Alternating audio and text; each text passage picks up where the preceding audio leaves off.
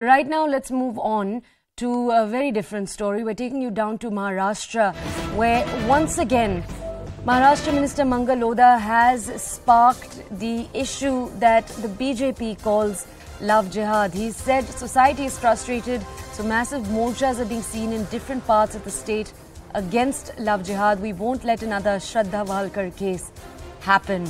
Uh, you remember the quote unquote love jihad issue is one that we've seen a number of right wing groups bring up. It's the accusation uh, that we've seen a number of right wing groups bring up that.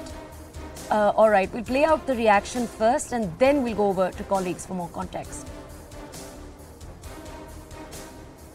मुझे समझ में नहीं आता माननीय अध्यक्ष महोदय कि हम महिलाओं के उत्थान की महिलाओं की सुरक्षा की बात में तो करते हैं पर जब यदि कोई ऐसा विषय आ जाता है कि जिसमें लव जिहाद का विषय हो, जिसमें महिलाओं के ऊपर हो रहे दूसरे अत्याचार का विषय हो पचास पचास हज़ार लोगों के मोर्चे पूरे महाराष्ट्र के अंदर हर ज़िले में निकल रहे हैं। तो क्या वो अपना आप निकल रहे हैं, माननीय अध्यक्ष मोदी? आग अंदर जली हुई।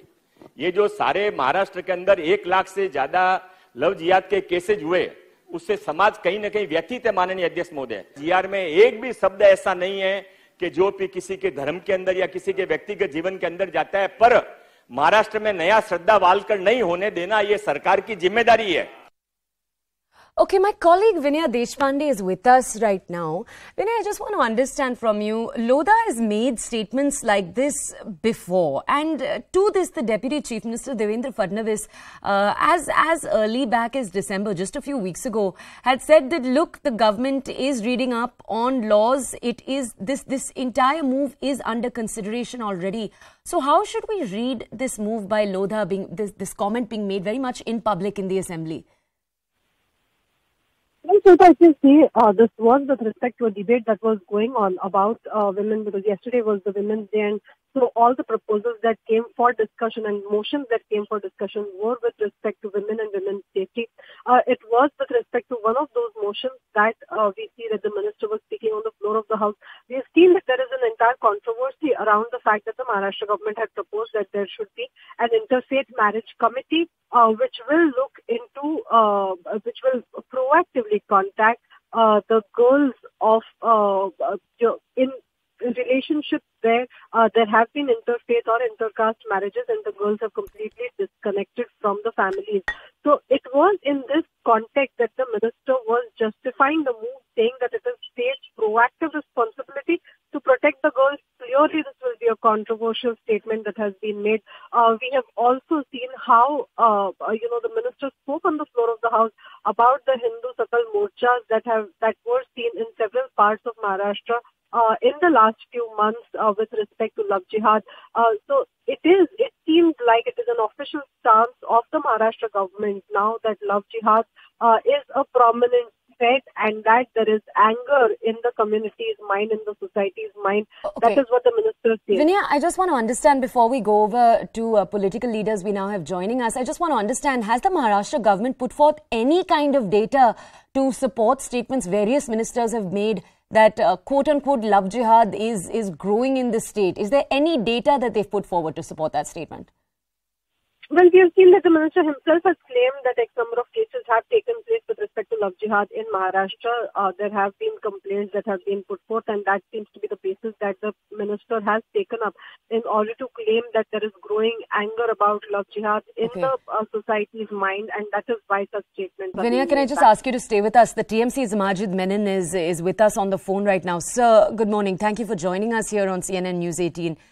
Sir, uh, Maharashtra's Minister Lodha raising an issue we've seen him raise uh, time and time again in the last few months. Clearly a very, very hot topic in Maharashtra. So, uh, when, when the minister is saying that society is frustrated, etc., etc., uh, so what is your response and what is the TMC's response?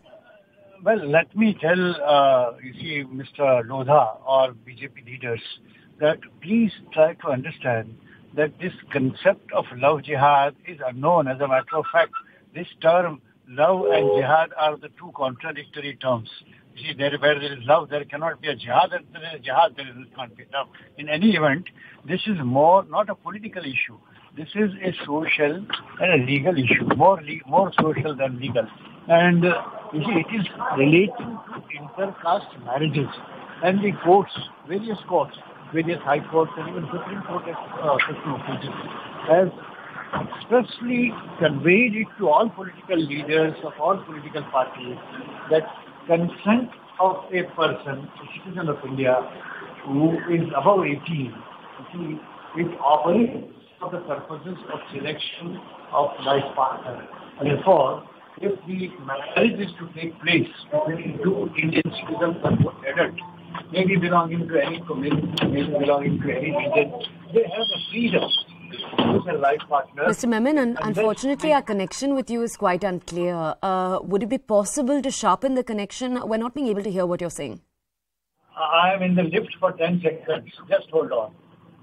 All right. Uh, we've unfortunately run out of time, Mr. Memon. We would love to hear what you have to say. We will try to connect with you in just a few minutes. Right now, it's time for a short break. On the other side, you are watching the breaking news show right here on CNN News 18, which means that in just a few minutes, we'll see you once again on the other side.